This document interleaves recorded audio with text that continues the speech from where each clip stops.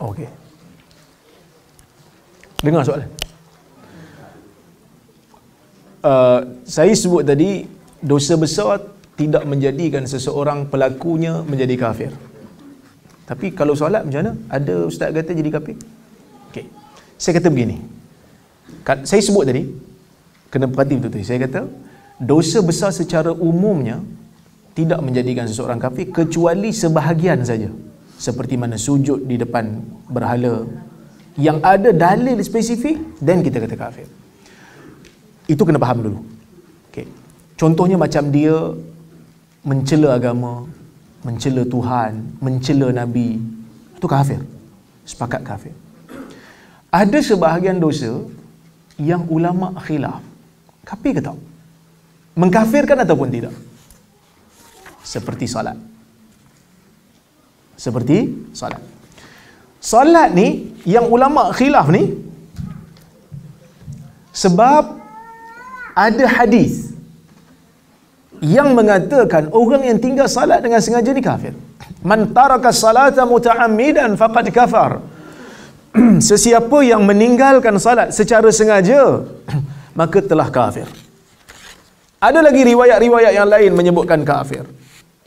Oleh kerana itu ulama berbeza pendapat. Sebahagian ulama bahkan ramai juga di kalangan ulama-ulama salaf seperti Ayub As-Sakhtiyani dan seumpamanya mereka mengatakan siapa yang tinggal solat memang kafir.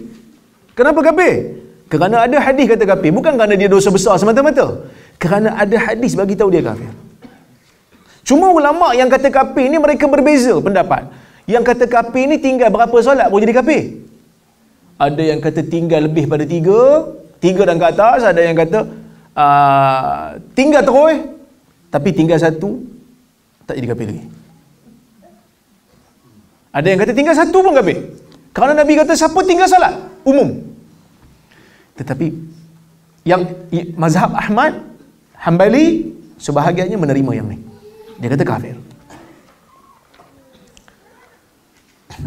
Majoriti ulama daripada tiga mazhab, Maliki, Syafi'i dan juga apa ni Hanafi, mereka pecahkan kepada dua.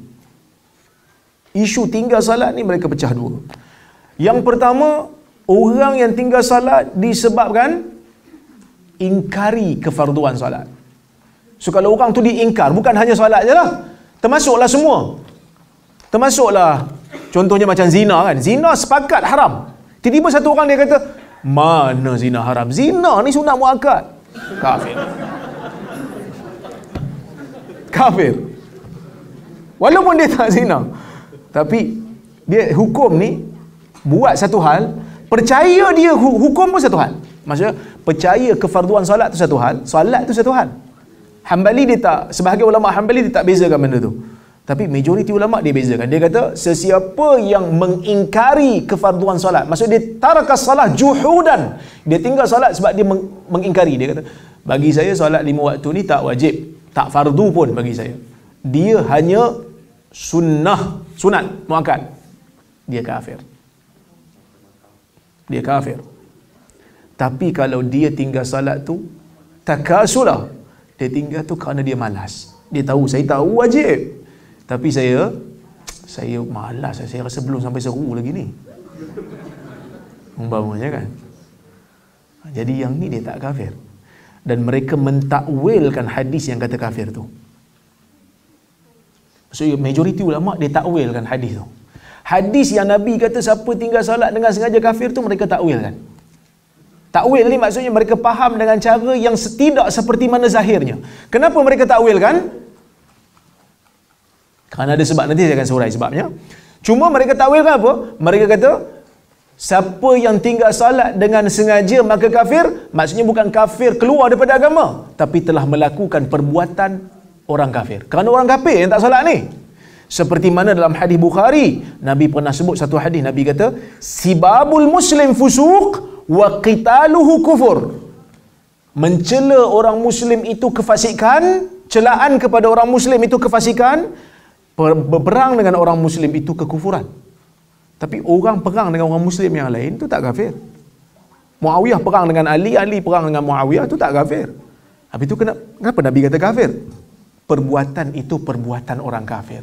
Maksudnya orang Islam ni tak memerangi orang Islam. Tapi Ali dengan Muawiyah ni perbuatan itu pun bukan kafir kerana mereka dua-dua menganggap mereka berada di atas kebenaran. Maksudnya amru bil ma'ruf wa nahyi munkar. Yang Nabi maksudkan berperang dengan orang mukmin ini kufur bila dia berperang tu tanpa ada alasan yang munasabah. Serangan secara zalim. Orang muslim tidak menzalimi orang muslim yang lain. Okey. Jadi kenapa mereka takwil? Kerana di sana ada hadis yang menunjukkan ada manusia yang tidak beramal langsung dan tak sempat beramal. Bila bertaubat dan mati tetap diterima sebagai orang Islam. Dah dengar hadis 9 orang yang bunuh 99 orang tu? Kan? Hadis yang bunuh 99 orang tu kan dia nak taubat. Lepas tu dia pergi jumpa dengan tukang rahib kan, dia pergi jumpa dengan tukang ibadat. Tanya, boleh tak taubat dah bunuh 99 orang? Dia kata tak boleh. Dibunuh seorang tu. Yang jawab tu oleh kerana jawapan dia tak menarik, dibunuh. Jadi hati-hati nak jawab soalan ni. Kau tak pasal-pasal kan? Cukup seratus. Bila seratus tu, bila seratus tu, dia pergi tanya orang alim. Orang alim tu kata boleh. Lepas tu dia kata intalik ila ardi kadha wa kadha. Hadis ni tuan-tuan tahu pernah baca kan? Ustaz-ustaz kita selalu baca. Dia kata pergilah ke bumi sekian-sekian fa inna biha unasan ya'budun Allah fa'budillaha ma'ahum. Di, uh, pergi ke tempat sekian-sekian kerana di sana ada manusia yang menyembah Allah, pergi sembah Allah bersama mereka. Dia pun keluar. Fantalaqa hatta idza nasafat tariq atahul maut. Dia keluarlah, dengarlah cakap Tok Syekh. Bila dia keluar aje sampai pertengahan jalan dia mati faqtasamat fihi malaikatur rahmah wa malaikatul adab bergaduhlah malaikat rahmat dengan malaikat azab sebab apa bergaduh sebab confuse dia ni. Orang jahat malaikat azab akan bawa roh dia. Naik ke langit. Orang baik malaikat rahmat yang akan bawa roh. Dia ni baik ke jahat?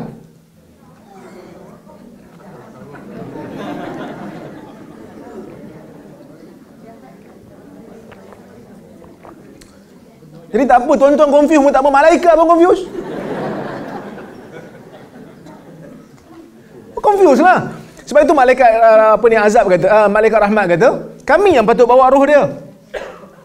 Sebab apa? Innahu jaa faqalat malaikatu rahmah innahu jaa taiban muqbilan wajhuhu ala Allah dia keluar daripada bumi dia dalam keadaan telah bertaubat dan jiwanya dan dan wajahnya menghadap kepada Allah. Maksud dia keluar tu kerana Allah. Dan bertaubat dah. Malaikat azab kata innahu lam ya'mal khairan qat. Dia tak pernah amal satu benda baik pun. Kalau dia solat takkanlah tak ada satu benda baik pun. Maksudnya dia tak pernah buat satu benda baik pun. Dia cuma ada iman je. Tapi Tuhan ampun tak ada ni? Ampun. Kan? Maka saya tengok pendapat majoriti ni kuat lagi lah.